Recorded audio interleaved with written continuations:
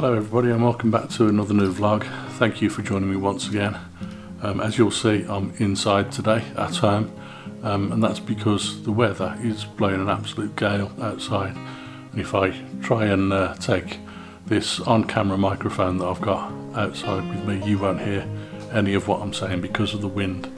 I can take the microphone off the camera and hold it closer to me but it's only got a very short cable on the uh, on the uh, microphone itself. I'd like to talk to you today about printing your own images. If you're a photographer, whether you shoot landscapes, macros, portraits, or even just sports photos at events and um, family snapshots, then you really ought to be printing your images because there's nothing better than seeing your images in print. I'd like to show you a few of mine. But before we do that, please remember to like and subscribe and leave me any comments you want to because all of that interaction really does help this channel. Um, I'm going to move on and show you some of my images now, so I hope you like these. The first image that I'd like to show you is this one here. Don't know how well you can see that. This is going back about five or six years ago now. This is a shot taken in Birmingham city centre, walking along the canals in Birmingham, I spotted this image and I was really taken by the boat on the one side of the image.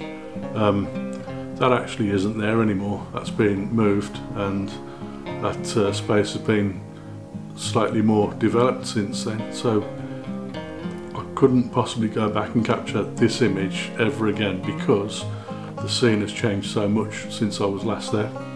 Um, so that's the first one. I was really impressed with that and I love the fact that it's come out so well on a print. I love the reflections in the water down here um, and all of the colour variations that I've got, the blues and the whites and the reds of the boats and the greens and everything that's uh, going on with this image. So I hope you like that one.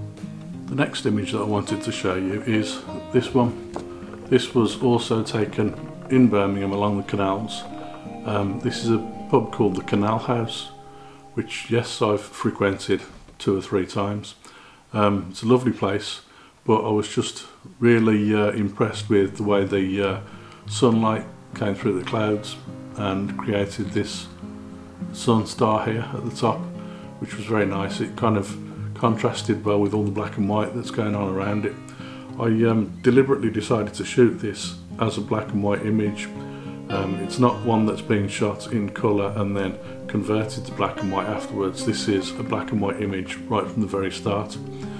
Uh, and I just like the fact that you've got the wooden building on the top here, near the top here, um, surrounded by all the brickwork around the edge, around this edge here, and the path running along the side of the canal those made a very nice contrast and framed the image very well so I was really impressed with that one.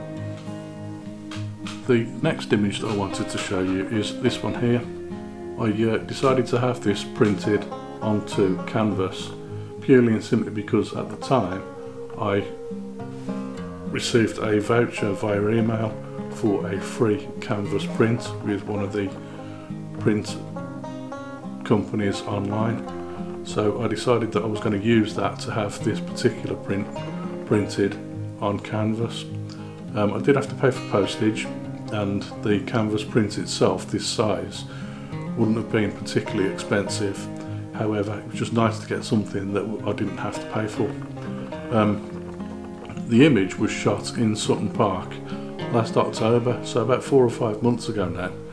Um, and basically I was just walking through the woodland looking for some possible inspiration when I came across this shot.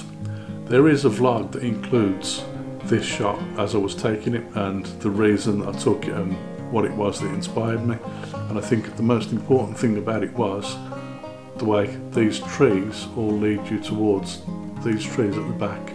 And the leaves along the path lead you all the way to these trees at the back. And then there is this shaft of light just on these leaves here, these bright green and yellow leaves at the top there. Um, that was kind of perfect and created a lovely composition with the trees framing the image around one side. Um, but again, that's one that I decided to have printed because I just loved the image to be quite honest with you and I thought it would look great as a print and I'm really pleased that I did. I hope that seeing some of my images in print will give you a bit of inspiration to go ahead and print your own images in the future. Um, like I said earlier, there's nothing more enjoyable than seeing your own photos actually on a print and perhaps put somewhere on somebody's wall or exhibited in an exhibition or basically sold. Um, it's great to see that the work that you've done um, and all that effort that you've put in and the time that you've used to create such a beautiful image will look good as a print like that. So I hope you have enjoyed those images. I do have a couple more images as well that I've printed, but I can't show you those because they've been given to various family members as presents over the past few months. So uh, if you've enjoyed this vlog and if it's helped you in any way, please remember to like and subscribe. Um, and you can send me any comments you like and get in touch with me and let me know what you think. Um, and for now, I will see you again on another video very soon. Bye for now.